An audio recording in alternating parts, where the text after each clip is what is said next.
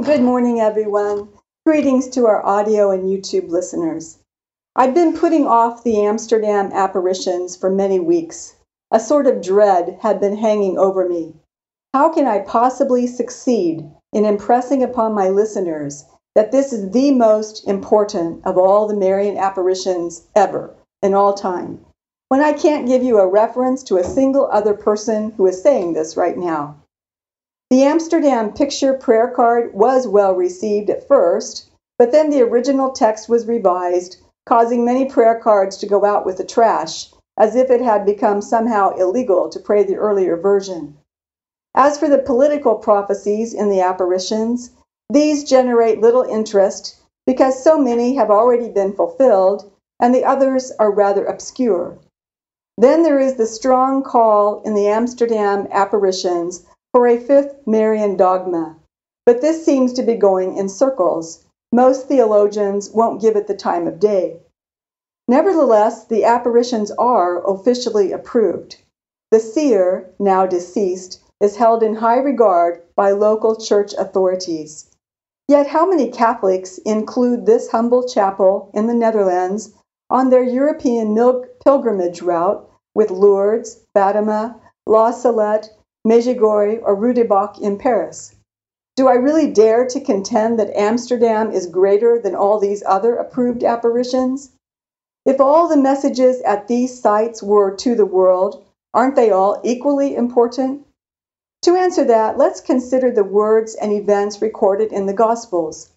Surely every place that Jesus visited contributed to our understanding of the full identity and message of the Son of God. We can say the same about every public apparition of Mary. As pieces in a mosaic, each one of Mary's apparitions is of incomparable beauty and makes its unique contribution to our fuller understanding of the identity of the Mother of the Son of God and her message for our time. But who can argue that Jesus' presence at Calvary and Bethlehem was of greater significance than healing someone at Peter's house in Capernaum, or doing an exorcism on a Gadarene hillside. Jesus didn't laugh at those long ago rabbis who were spending their time arguing about which of God's law was the greatest. Why? Because if you can identify one teaching or deed event as central, like Christ's death on the cross at Calvary, then you can put into correct perspective his ministry of healing the sick as a sign of healing and saving souls in general. In Jesus' day, the rabbinical disputes about the most important commandment usually centered on one or other of the sacrifices that were prescribed to be offered on this or that feast day. But Jesus did not say to them, Listen up, you foolish scholars, every word was inspired by God. Till heaven and earth pass away, not one jot or tittle shall pass away till all be fulfilled. All of my Father's laws are equally important. No, Jesus did not say that. Instead, he took the opportunity to proclaim his divine opinion about which commandment was most important. And then he went on to declare the runner up. He said to the scribe, You shall love the Lord your God with all your heart, and with all your soul, and with all your mind. This is the great and first commandment. And the second is like it You shall love your neighbor as yourself. On these two commandments depend all the law and the prophets. But wait, Jesus didn't choose any of the Ten Commandments, which his Father's own finger had carved into stone tablets and were carefully preserved in the ark for centuries until the fall of the temple. These were enshrined. Surely any of the ten were greater than the others.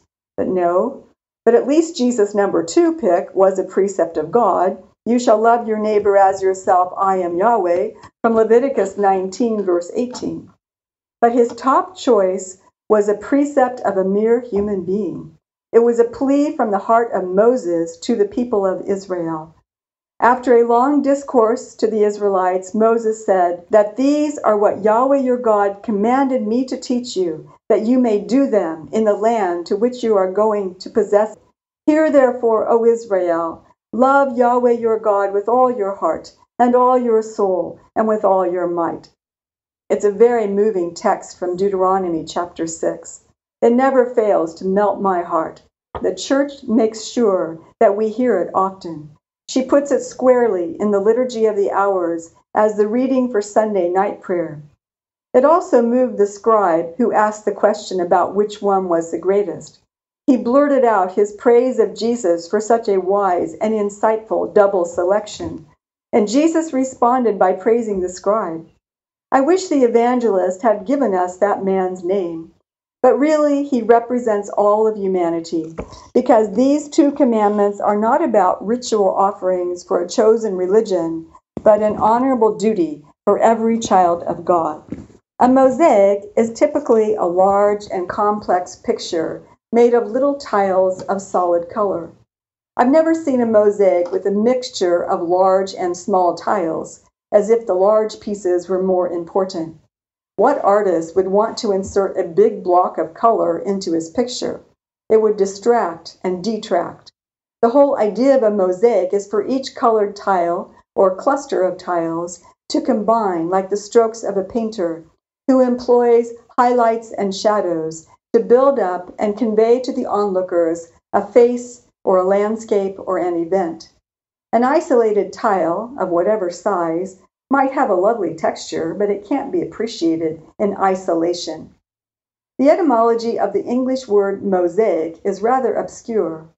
Could it be from Moses, from the Mosaic Law, the 613 precepts scattered in the first five books of the Old Testament form a composite picture that reveals the full identity of Israel. Yes, some clusters of tiles carry more important messages to the viewer, but only from within the context of the greater picture in which so many pieces make their special contribution. I contend that the Amsterdam series is greater than other Marian apparitions, but I am not suggesting that it should be separated from the others. Here's an overview to help you see the greatness. First, the Amsterdam apparition series forms a very large cluster of tiles in the Marian mosaic. There are 25 visions concerning the political situation of the world, 24 visions concerning the fifth Marian dogma, a few dreams, seven visions for the nations, and 149 Eucharistic experience. Secondly, the Amsterdam situation is atypical for Marian apparitions. There is not a single public outward sign, not a single healing. Even the painting of Mary is hardly a spectacular work of art, and no one expects miracles when praying before it. The chapel next to Beatrix Park in Amsterdam is a very unassuming building, innocuously located in a residential neighborhood. In fact, it's only a modest Dutch residential home converted to a shrine. Thirdly, the Amsterdam messages are delivered in an imposing and extraordinary manner. Mary speaks with a grand air of authority, contrary to her usual simplicity and humility. Mary speaks very impersonally to the visionary, who represents humanity in general. Mary speaks primarily to the non Christian world. She is calling them to be faithful to the natural moral law of love of God and neighbor, because they will only be open to the supernatural revelation of the gospel if they are first open to the truth revealed in creation. Mary speaks in the city of Amsterdam as if all the nations were assembled there. During the period of the political messages, 1945 to 49, it was only a typical Dutch city of Christians. Who foresaw at the time that it would become the multicultural center of the world with 77 different nationalities? Mary is concerned with the universal rights of black people. In the 1940s, the civil rights movement is still in the future. Colored soldiers were segregated during World War II. When the nations in, in Africa began demanding independence from their colonial owners, the world would be particularly appalled when it began to hear about the harsh and unjust rule of apartheid in Dutch colonial South Africa. Fourthly, the Amsterdam painting is theologically bold and original. Mary's robed figure in white is deliberately suggestive of the dove symbol of the Holy Spirit. Mary has the wounds of the stigmata on her hands and other symbols of one crucified. Mary stands on a globe of the world, but her feet are positioned on Holland and Germany as in need of her special protection because she expressed concern that they were about to lose the faith. In an October address of 2000, Bishop Helmut Bauer of Wurzburg, Germany, spoke of the shocking catastrophe of our faith, our disdain for God and rejection of God. He's speaking of his own Germany. Not even half of the population characterize themselves as believers anymore, he said. In former East Germany, 80% are not even baptized. In our families, God is an unknown entity. Prayer does not take place. Even the grandparents, he said, are not an exception. That was 17 years ago, before the recent wave of Muslim immigrants. 800,000 arrived in Germany in 2015 and 240,000 in 2016, adding 77,000 children born to these. The Muslim population of Germany is currently estimated at 6.5 million about 7 or 8 percent, with 970 clerics, most of whom do not speak German, leading 900 mosques. No one could have foreseen this situation of de-Christianization back in 1945. And fifthly, the Amsterdam request for the fifth dogma is as extraordinary as the announcement of a new continent and of a call for explorers to blaze a trail so that this new territory, rich in resources, can be utilized. Mary begins calling for the dogma on November 16, 1950, only two weeks after Venerable Pope Pius XII pronounced the fourth dogma. Mary wants three dogmas, as it were, proclaimed as one dogma. Mary wants this triple dogma not merely proclaimed, but explained theologically so that the faithful will understand it. Mary says that this will be the final dogma, as if she is closing the door on exploration of her many traditional titles as potential dogmas. So let's begin with the 25 visions concerning the political situation of the world. It's a rather long and complicated series. Why should we believe what Ida Peerdeman said she saw and heard when she herself usually didn't understand the visions and when there were no outward miraculous signs to help verify that she was seeing something supernatural. How did all these messages gain ecclesiastical approval? The local bishop applied a fundamental biblical criterion. Deuteronomy 18, verse 22 When a prophet speaks in the name of the Lord, if the word does not come to pass or come true, that is a word which the Lord has not spoken. The prophet has spoken it presumptuously. You need not be afraid of him. Not all prophetic messages are predictions. Theologically, a prophecy is just a message from God, and probably 90% of these messages are calls to conversion. But since many calls to conversion are joined to a warning, be good, or else this will be the consequence, it's normal for the average person to associate prophecy with a conditional pre- prediction for the future. But there is a special genre of unconditional predictions that could be characterized as absolutely prophetic. I see X, I see Y. The first set of the Amsterdam visions were replete with predictions. Good men and demons can make educated guesses regarding the future, but that's as far as it goes. Scripture attests that angels do not know the future. See 1 Peter chapter 1. They might get something right, if it isn't too difficult, but not again and again. Richard L. Russell has a PhD in international relations. He recognizes in Ida's visions, better than the average person, multiple symbols corresponding directly to events that played out in subsequent 20th century political history. Dr. Russell has been invited to give lectures in Amsterdam by the Lady of All Nations Foundation. I will offer a few samples of his interpretations. By the way, the Dutch pronounce her name Ida, but I use the more familiar English pronunciation of Ida. Americans do this out of respect for another language. We prefer to say Paris rather than attempt the French pronunciation of Paris and miss the accent so badly that the French wouldn't even know what we were saying. I will select a few political apparitions from Ida's visions and comment briefly. Let's take the 25th message, December 10th, 1950. With this long vision, Ida says, Upward, to the left, in Russia, I see a glaring light, a blinding light. It is as if it explodes from the ground upward. It is a horrible sight. And then, says the lady, you no longer see anything, and I feel blinded by that light. I feel something extraordinary and disgusting coming over me.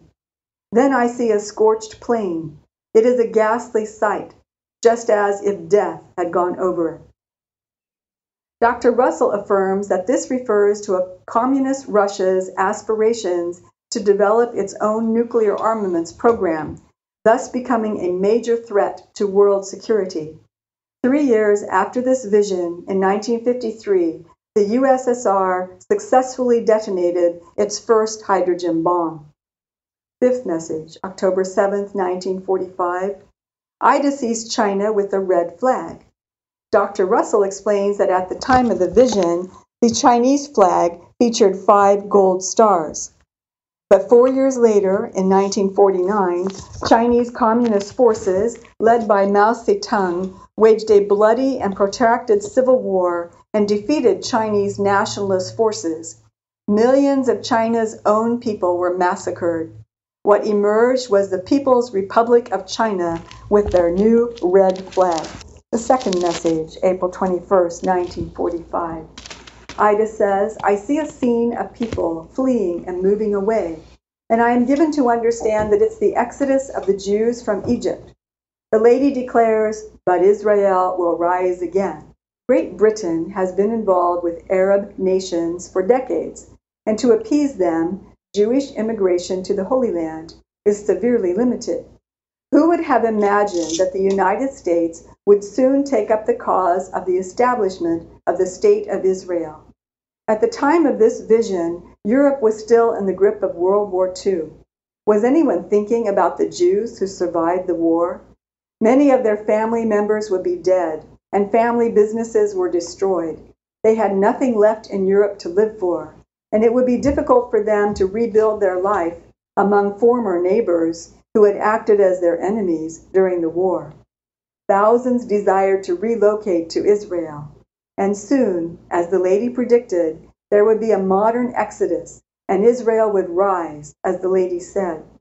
In 1948, after complicated negotiations and some armed conflict, Israel was reborn. It had not been an independent nation since the invasion of the king of Babylon, who burned down Solomon's temple. Ida reports in the same vision, quote, Above the scene of the Exodus, I see a representation of God the Father in the clouds. He is holding his hand over his eyes, and the lady tells me, and Yahweh is ashamed of his people. This vision surprised me very much. I just couldn't understand it. This was 1945. The Jews had just suffered so much. It only made sense to me much later on when I read Dr. Russell's explanation that Israel would become a very secular state, despite the evident contradiction that modern Israel is defined by religion rather than race. George Weigel affirmed this truth in his book, Witness to Hope. In the section where he describes how Pope John Paul II wanted negotiations to proceed so that Israel could have an ambassador to, ambassador to the Vatican, the Vatican diplomat and the Hebrew diplomat are in conversation, and the city of Jerusalem is mentioned. The Vatican diplomat remarks that this city is of great importance for Jews and Christians. The Hebrew diplomat shows surprise. He asks why Jerusalem would be important to a Jew. Half the Old Testament is about Jerusalem. That is how utterly separated religion has become from the minds of hearts of many Jews in Israel. This is why Yahweh feels ashamed of them. Let's look at the fifth message, also political, October 7th, 1945. Ida has a bizarre vision of whirling symbols. Some fall, others rise. Dr. Russell has no difficulty with this one. These are symbols of nations that would change governments in the near future, and he explains it. And then there's the 14th message, December 26, 1947. Ida says, All at once I see Cairo clearly, and I get a strange feeling about it. Then I see various Eastern peoples, Persians, Arabs, and so on. The lady says, The world is, so to speak, going to be torn in two. Now I see the world laying before me, and in it a great crack appears, a break winding right over the world. Heavy clouds are hanging over it, and I feel great sorrow and misery. I hear the lady say, Great sorrow and misery will come. Many, but not all of these political prophecies unfolded very quickly, within three or four years. Dr. Russell finds this particular vision very interesting because Cairo almost never does anything to make the news. He says this vision in 1947 must have been depicting the 2013 coup d'etat, which surprised the world. In the 1940s, the Middle East was confined to the Ottoman Empire. Although it dissolved in 1922, the Muslims kept to themselves and caused little concern to the rest of the world. How different is the situation now? Truly, the world is cracking in disagreement over the Arab immigration problem. The daily killings by various radical Islamists have brought a level of great sorrow and misery. The genre or style of Ida and the Amsterdam prophecies resembles Ezekiel more than, for example, Jeremiah or Elijah. Ezekiel received more images than words. Ezekiel saw some events that concerned Israel's political situation in the very near future, and Ezekiel saw some distant events which have not yet come to pass, although we are 3,000 years down the road. A prophet isn't approved because all his predictions have come to pass. Ida, like Ezekiel, was approved as a genuine prophet because 1. The initial predictions were fulfilled and these were beyond the possibility of human or angelic knowledge. Two, her personal integrity remained constant and upright. And three, because of the criterion from Deuteronomy mentioned at the beginning of this conference, namely that Ida never made a prediction that proved to be false. We aren't going to attempt to read aloud the messages from Amsterdam because although Ida is quite sparse in her descriptions, the collection of visions is longer than the New Testament. They are available online and in printed books, but when you read the first 25 messages of the Lady of All Nations and you feel that you don't understand them without the help of a commentary, that's quite all right.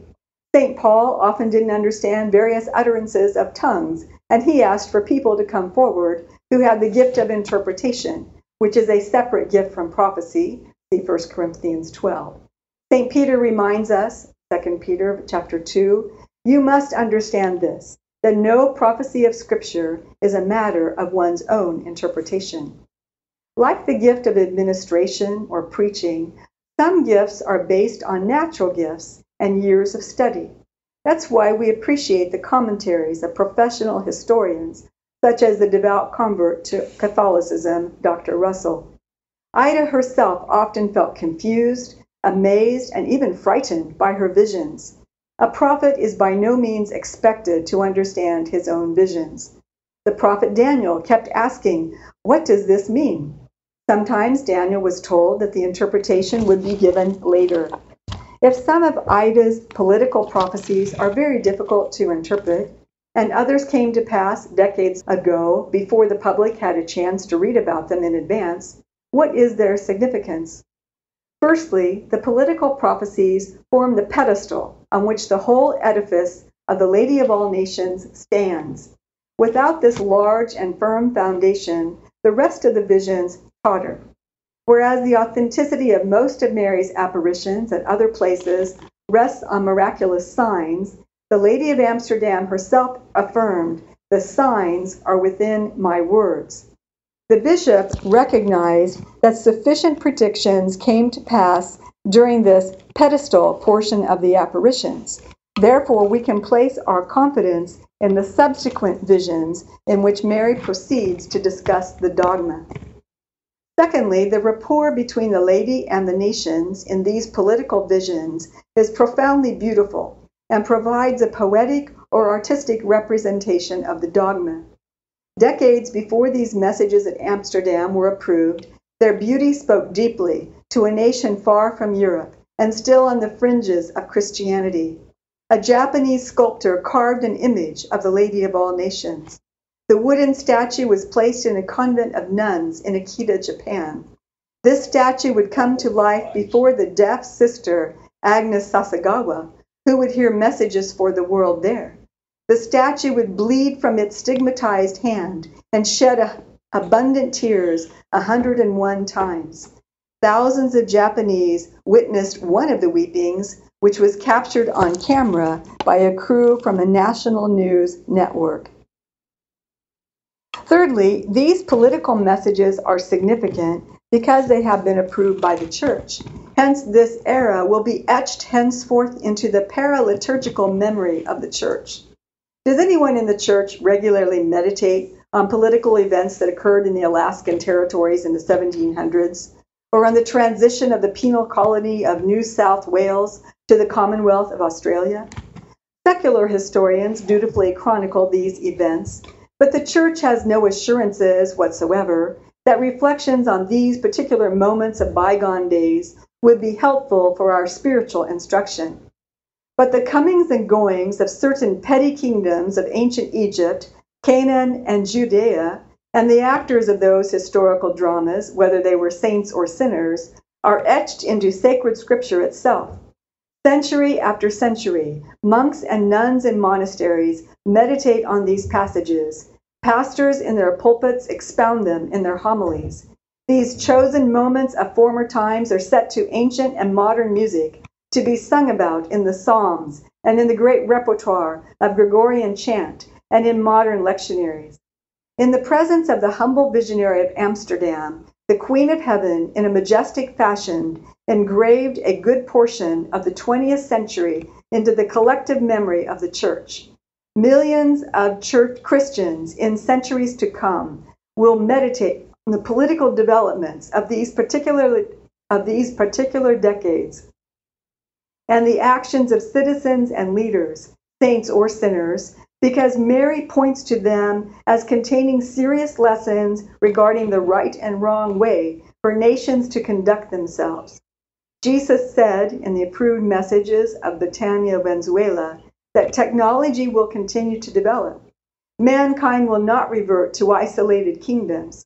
Since we cannot look to the examples in the Bible for clear guidance regarding global interaction between nations, God has provided us with this new appendix to the revealed Word of God. If you read and meditate on the visions of Ida as a modern Ezekiel, you will notice Mary's preoccupation with events in Korea. Korea was at the center of what came to be called the Cold War.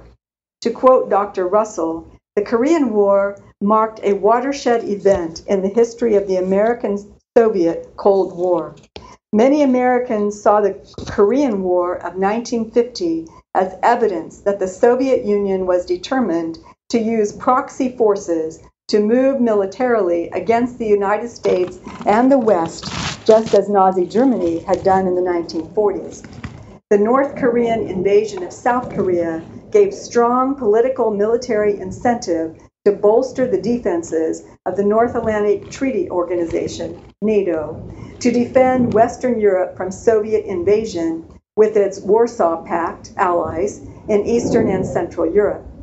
The lady herself said the fighting in Korea is a sham and the start of a great misery.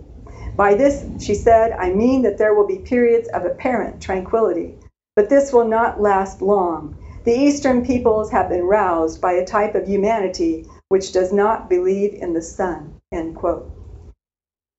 I think I'm still quoting um, Dr. Russell here. The political construct of a Cold War will be useful for instructive meditation, but Mary is especially asking us to meditate on the underlying inhumanity of communism. Many other non Christian nations don't believe in the Son of God and they treat each other humanely according to the moral law revealed in creation. But atheistic communism does not acknowledge the ideal of sonship.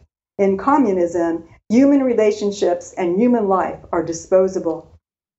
In Mary's locutions to Father Gobbi and, to, and the Marian movement of priests, She explains that the red dragon of the apocalypse, atheistic communism, red as blood because of its murderous contempt for human life. Scripture itself names the dragon Satan. All who are connected with Satan are destined for hell because they have espoused a philosophy of contempt for God and man. I want to insert here a testimony of a young Marine from the Korean War. It was publicized by a U.S. Navy chaplain, Father Walter Muldy, who personally interviewed the soldier named Michael, his outfit commander, and his mother. I don't know if the letter of 1950 is just a narrative form for the story or an actual document. It's available on many internet sites. I'll quote the main extracts. Dear Mom, I am writing to you from a hospital bed. I was wounded, but the doctor says that I will be up in no time.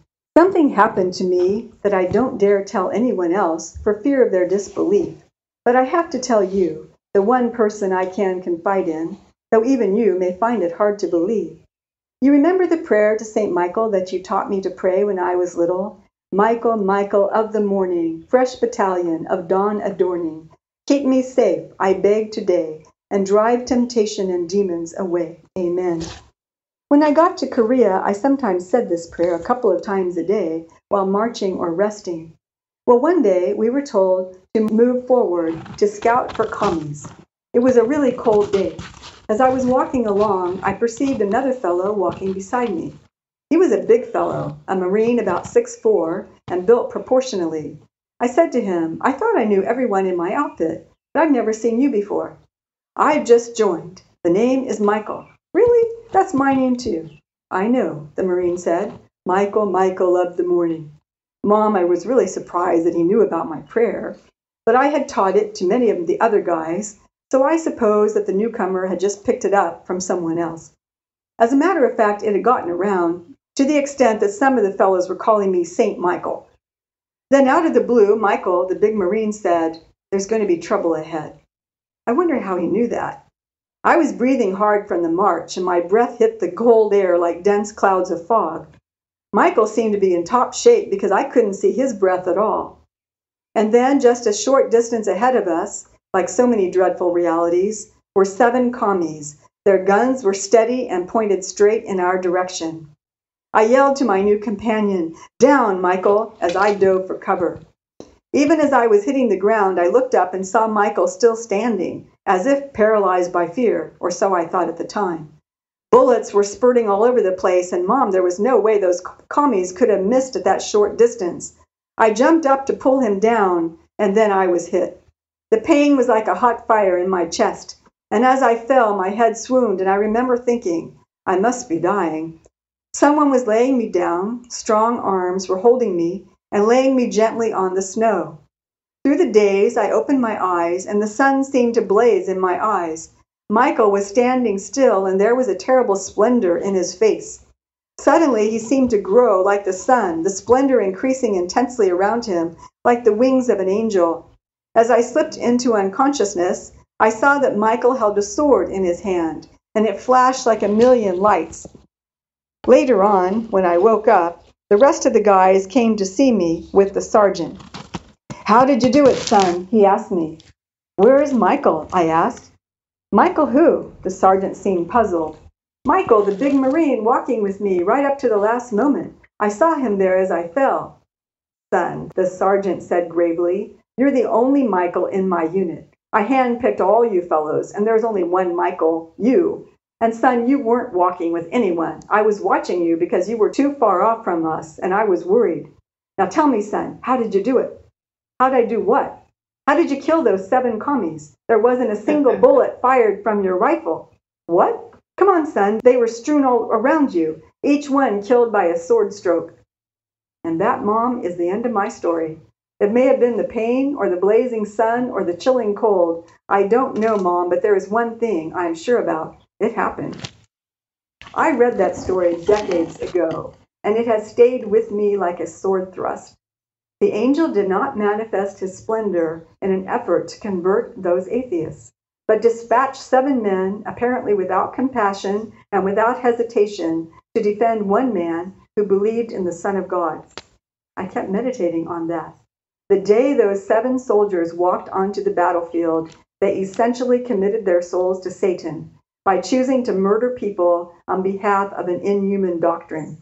They had set themselves above the Creator and were not open to the gospel message of salvation. Many radicalized terrorists today make a similar commitment to murder. Mary asks us to meditate on modern ideologies so that we can understand our times and recognize that we are in a biblical era comparable to the ancient Israelites who lived in Egypt. Despite all the miracles and plagues, the murderous heart of Pharaoh and his followers were hardened. They demonstrated that they were not open to the truth. So the time arrived for their destruction and Israel's redemption.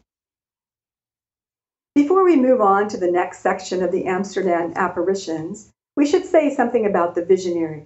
Ida Peerdeman was born August 13, 1905, as the youngest of five children in a Dutch family. The parents were faithful to Sunday Mass. They taught their children prayers at meals and to lead a generally upright life, but they were not exceptional Catholics. Ida's mother died when she was eight. This maternal loss made the siblings closer than most. Ida experienced one prophetic event in her youth. On October 13, 1917, she was only 12. In faraway Portugal, when 70,000 or maybe 100,000 people were gathered by Our Lady to witness the great miracle of the sun, Ida was walking down a street and she had a vision of a lady wearing a long white dress a cream colored sash, and Ida mentions this at home, but the family pays no attention. Ida's character was upright and simple. She tried to begin a career as a kindergarten teacher, but wasn't accepted because she lacked imagination. She took a job in a factory when she was 20. It was 1925. As in America, Europe soon moved into the Great Depression and then World War II. The economy discouraged young people from marrying and starting families. Was this why Ida never married? I think there's only one full length biography in English, and you have to order it from Holland, so I'm relying on miscellaneous internet summaries of her life.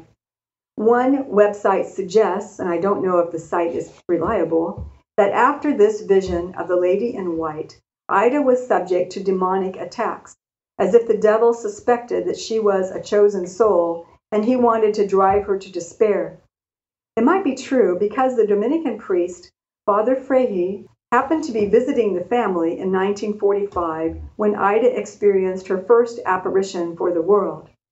The websites report unanimously that Father Frehe was Ida's spiritual director and confessor for 50 years, from 1917, when she was 12, until his death in 1967. Evidently, the siblings had become more devout in dealing with Ida's demonic attacks. That day was March 25, 1945, the Feast of the Annunciation. The war was dragging on. The Dutch called 1945 the Hunger Winter. Suddenly, Ida left the group because she saw a light in the next room. Ida began conversing with some invisible person. So Father Frehe asked one of Ida's sisters to write down what they heard Ida say. This will be the usual format because the lady typically appears to Ida when witnesses are present. In this first apparition, Ida recognizes the same lady she had seen as a 12 year old. The lady in white raises five fingers and says, Five is for May. Then Ida sees soldiers departing. The lady raises a rosary and says, because of this. Two months later, on May 5th, the Netherlands is liberated by the Allies. Ida rarely provides us with artistic details.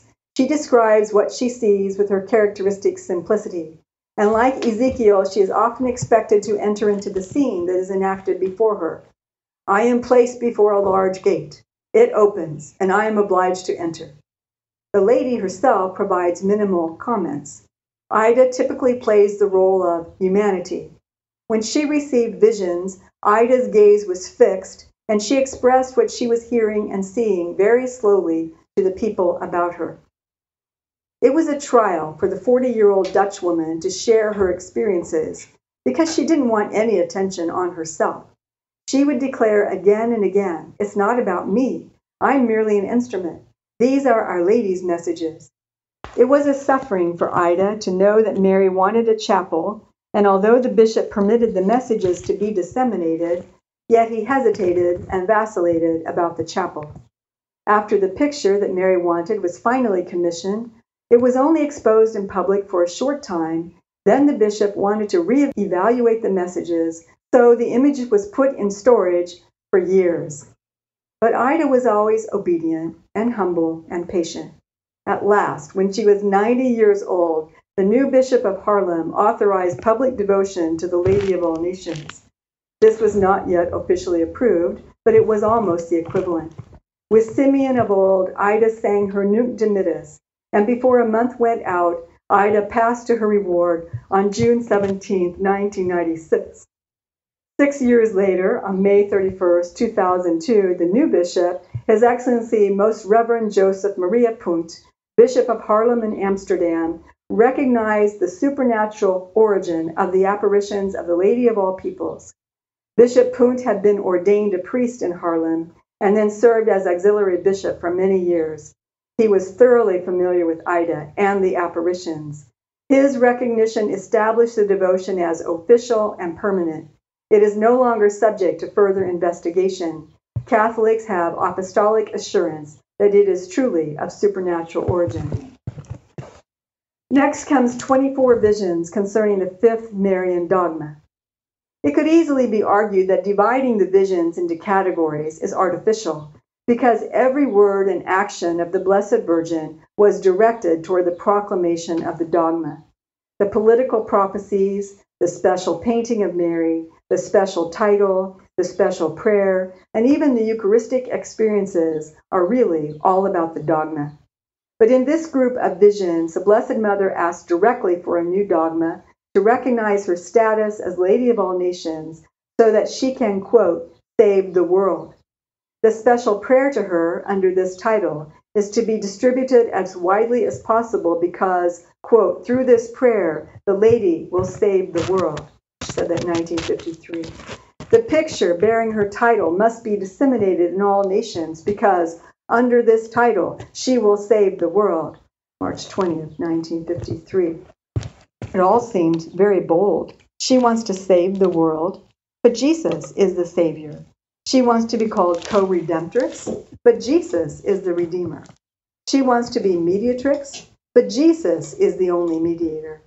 She wants to be advocate or paraclete, but that's the title of the Holy Spirit. But Mary has never been in competition with God.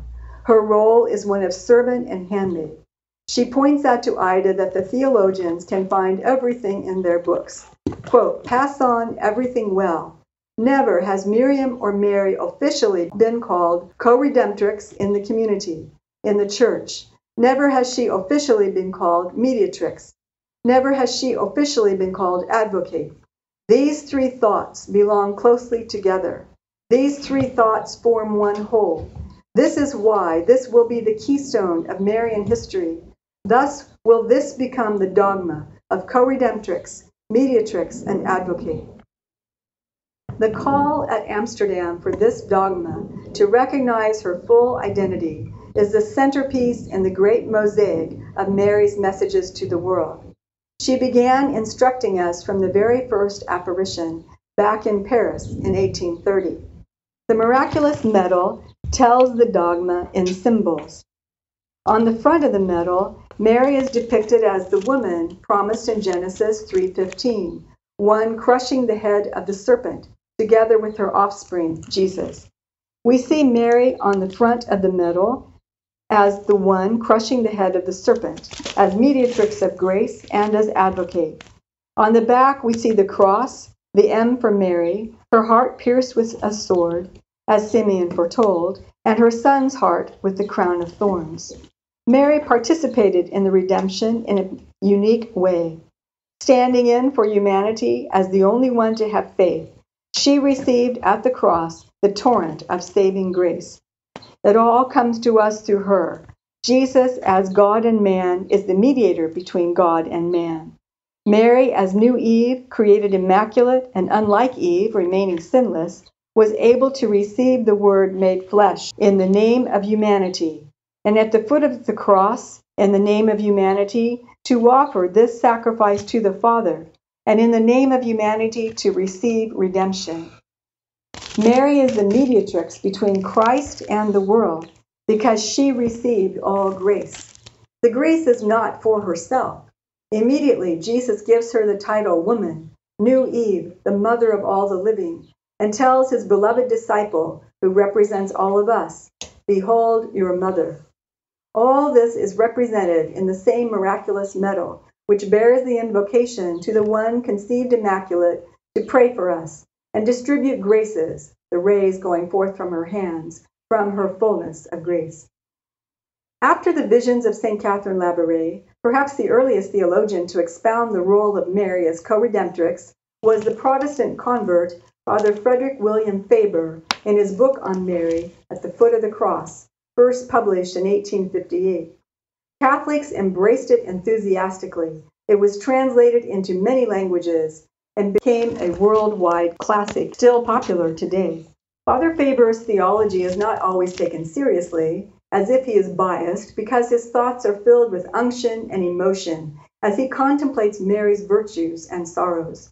But far drier theologians, like his contemporary Anglican convert, Blessed Cardinal John Henry Newman, writes vigorously to an Anglican minister If you have no problem to call her, with the Church Fathers, Mother of God, New Eve, Morning Star, then what objection can you make to her being called co redemptrix as well? Obviously, the co here means not equal to, but united with. Mary's subsequent apparitions to the world stimulated deeper and deeper discussion regarding her unique place in the human race.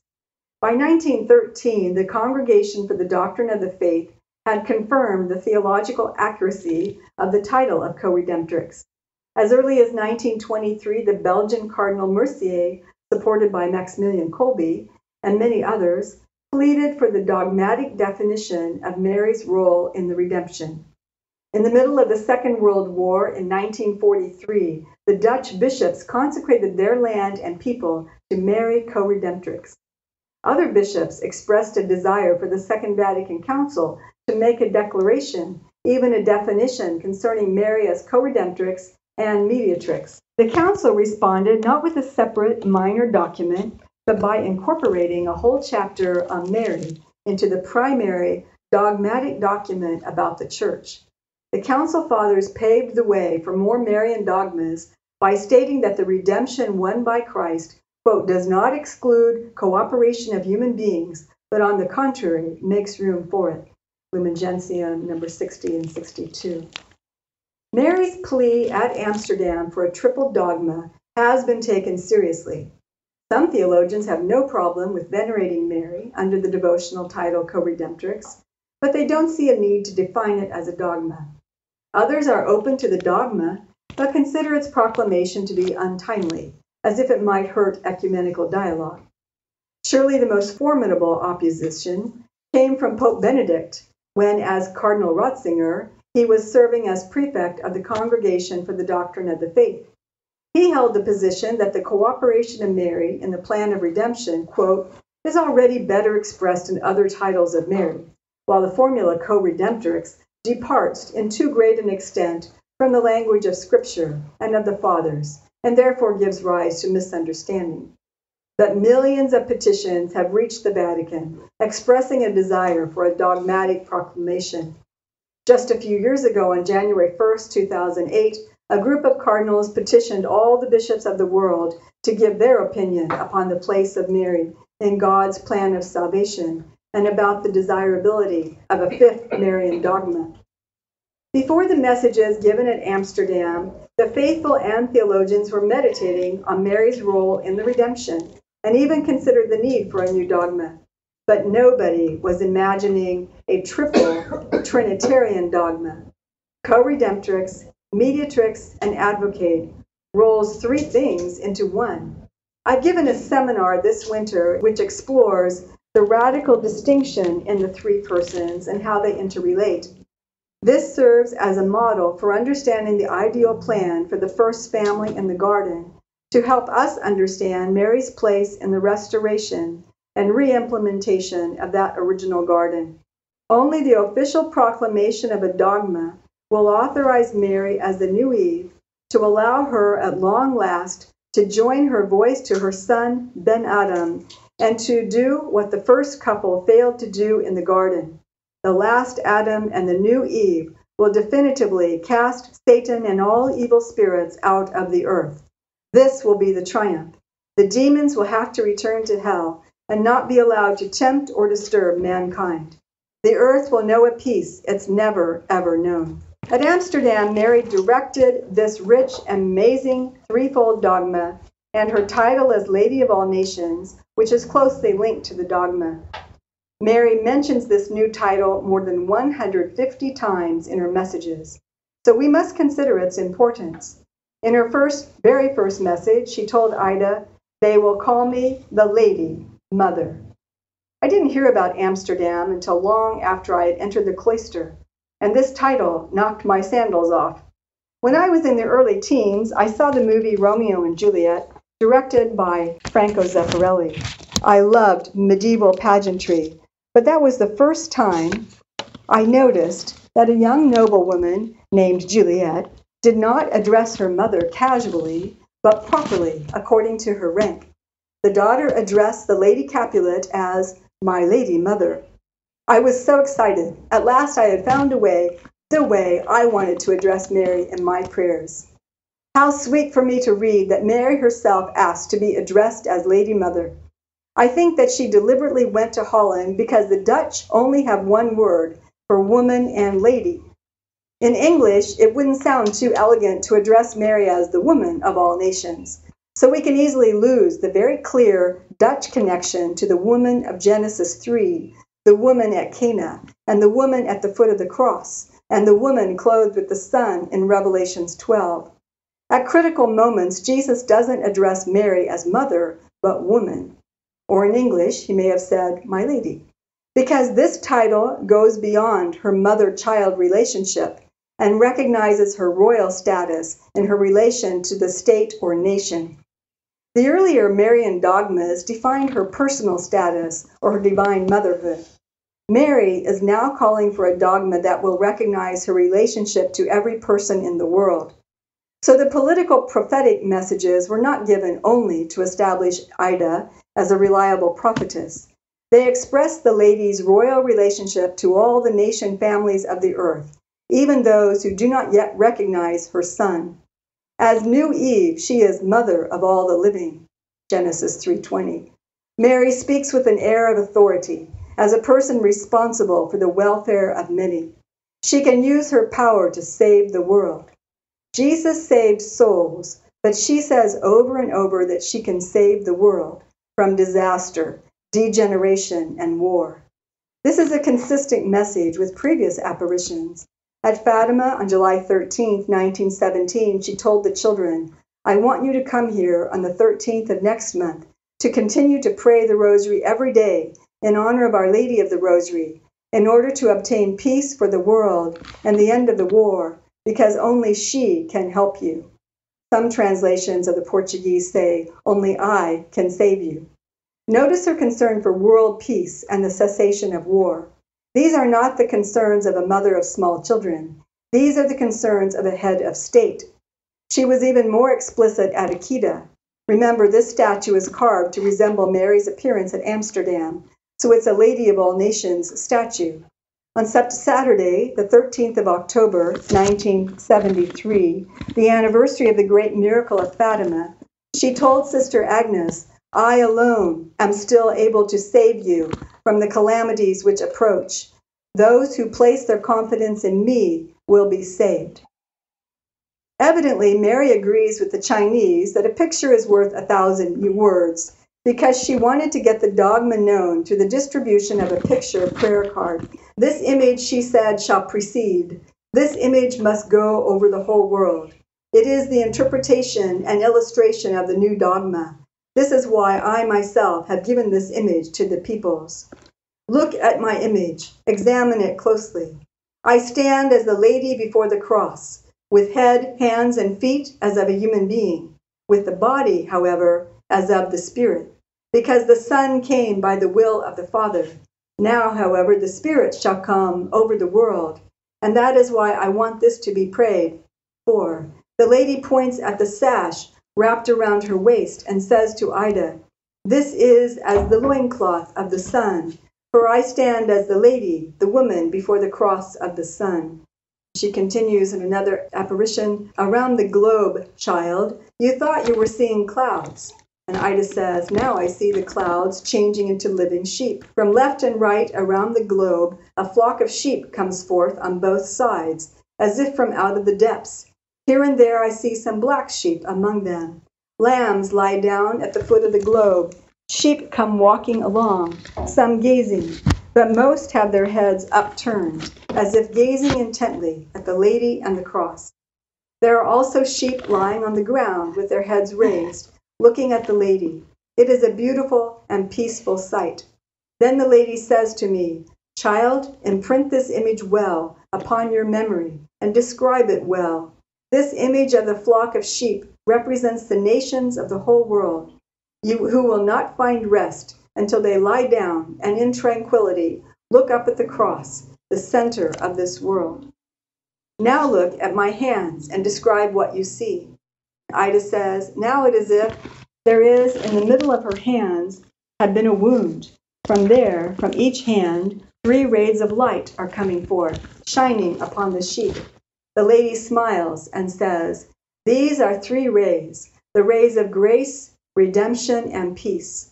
Through the grace of my Lord and Master, and out of love for humanity, the Father sent to the world his only Son as Redeemer. Now, both of them want to send the Holy and true Spirit, who alone can be peace. Hence, grace, redemption, peace was May 31st, 1951. Unlike with the miraculous medal, in this image given in Amsterdam, the serpent is nowhere to be seen anymore because it is utterly vanquished. On the picture, Mary's title is written in an arch over her head. On March 20th, 1953, it is Mary, the Lady of all nations, who is bringing this message. And the lady pauses for a moment. Then she says clearly and slowly, Under this title, she will save the world. Mary is Lady for the nations because many do not yet know her as Mother but she longs to draw them into the church of her Son so she can act as a tender mother.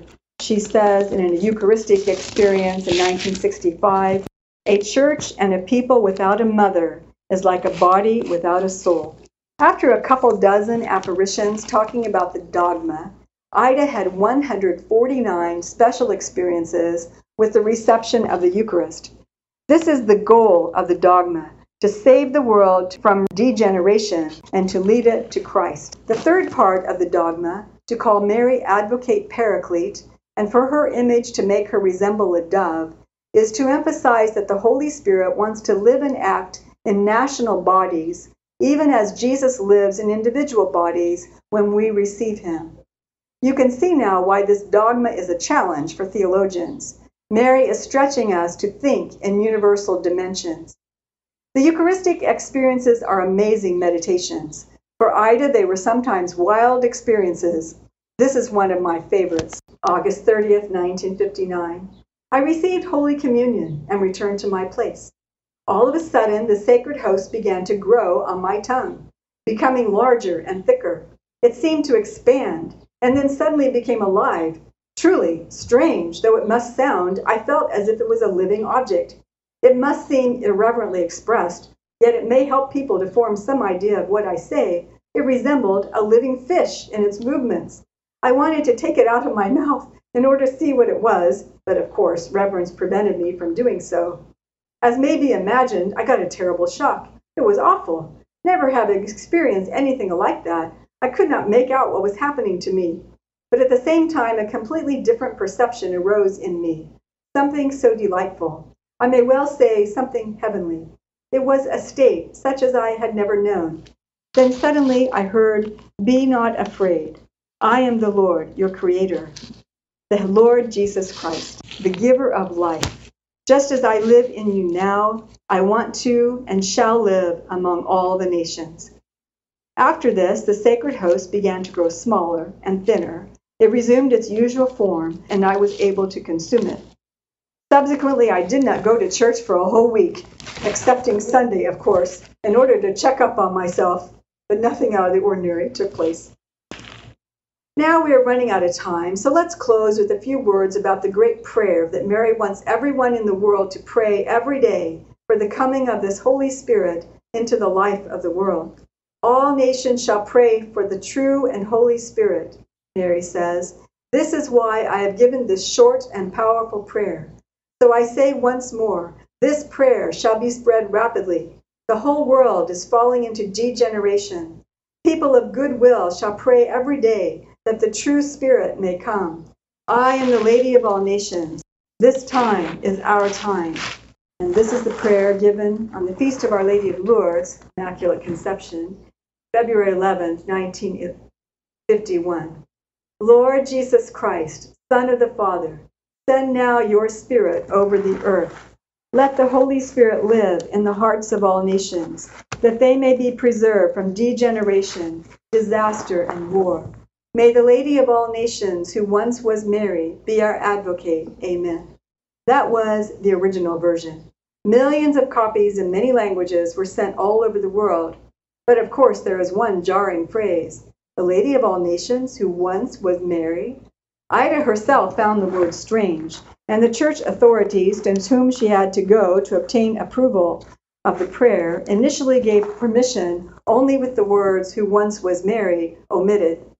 This led Our Lady on March 28th, July 2nd, and again on February 17th and April 2nd in the years 1951 and 52 to insist that permission should be given for the publication of the prayer in its entirety. The bishop conceded, and on March October 5th, 1952, Our Lady told Ida to tell the bishop that she was now satisfied. Mary explained on July 2nd, the words who once was Mary mean Many people have known Mary just as Mary. Now, however, in this new era, which is beginning, I want to be the lady of all nations. Everybody will understand this. Ida commented, The lady says this prayer so beautifully and impressively. No one in the world could do it as she did. She stresses the word now in send now your spirit and all, and let the Holy Spirit live in the hearts of all nations. She also pronounces the word Amen so beautifully and solemnly. While still standing in front of the cross, I pray it, repeating the words the lady recited to me. It is as if the words are imprinted in my mind. I see them written in large letters. After Mary has given the prayer, she continues Child, this is so simple and short that everyone can say it in one's own language before one's own crucifix and those who have no crucifix say it to themselves. This is the message that I want to give this very day, for I am now coming to say that I want to save the souls. All of you cooperate in this great work for the world. And she says again in December 1951 The Lady of all nations hereby promises that those who ask will be heard according to the will of the Father, the Son, and the Holy Spirit. This prayer has been given for the redemption of the world. This prayer has been given for the conversion of the world. Pray this prayer in all that you do. This prayer shall be spread in churches and by modern means. The people of this world shall learn to invoke the Lady of all nations, who once was Mary, as their advocate, that the world may be delivered from degeneration, disaster, and war. And again in 1952, April 6, Pray every day that the Lord Jesus Christ, Son of the Father, may send the Holy Spirit over this world, and the Lady of all nations, who once was Mary, will be your advocate. So be it.